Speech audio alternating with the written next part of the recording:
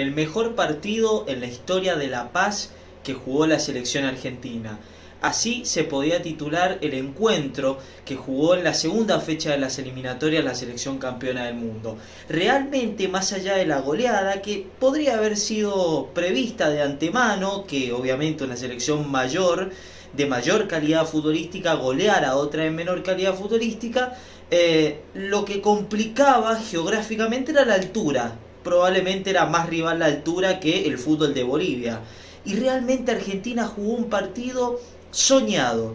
Eh, todo el partido lo jugó bien de principio a fin, regulando ciertas cuestiones físicas, obviamente, teniendo en cuenta este factor altura, pero nunca dejó de dominar el partido. Y esto es lo más asombroso porque se podría pensar, sin ver el partido, que Argentina, bueno, por momentos atacó, por otros momentos se defendió, otros momentos tuvo más la pelota, y la verdad es que no. Argentina todo el partido lo jugó igual dominando, imponiendo las condiciones y si no tenía la pelota la recuperaba post pérdida muy pero muy rápido, salía y atacaba con, con los extremos y creo yo que el punto más importante se da en el mediocampo.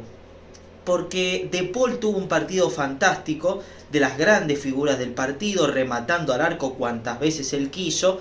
El gol de Enzo Fernández, la tenencia de McAllister, eh, el pivoteo, el retraso de Di María para tener contacto con la pelota permanentemente, aunque jugaba de delantero, eh, hizo que Argentina fuese un equipo de un mediocampo tremendo, brillante, un fútbol de altísimo nivel, rápido, veloz, toques todos alrededor de la pelota, asociándose. Hace bastante no se veía que Argentina tenía un mediocampo que fuese tan determinante en el juego porque en el Mundial que Argentina ganó era un equipo que tenía y tiene obviamente buen mediocampo, pero se definía por los delanteros. Y me animo a decir que este partido se definió desde el mediocampo. Argentina impuso las condiciones allí, luego ante la ausencia de Messi, el rol del ataque, el abanderado del ataque fue Ángel Di María, la gran figura del partido. Eh, lograron que Argentina fuese un equipo arrollador en la altura de La Paz. Si dejó dudas el partido contra Ecuador, listo, dejémoslas a un costado porque Argentina dijo, acá están los campeones del mundo, esperarán rivales y la verdad es que ganar así en la altura de La Paz es algo soñado y hermoso.